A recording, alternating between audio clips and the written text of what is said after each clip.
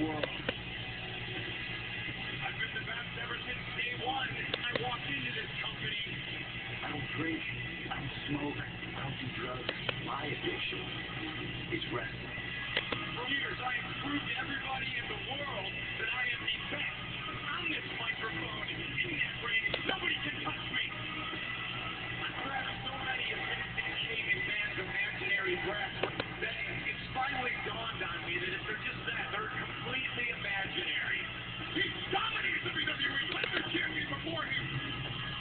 434 days, I was the real champion. This is the face of the WWE.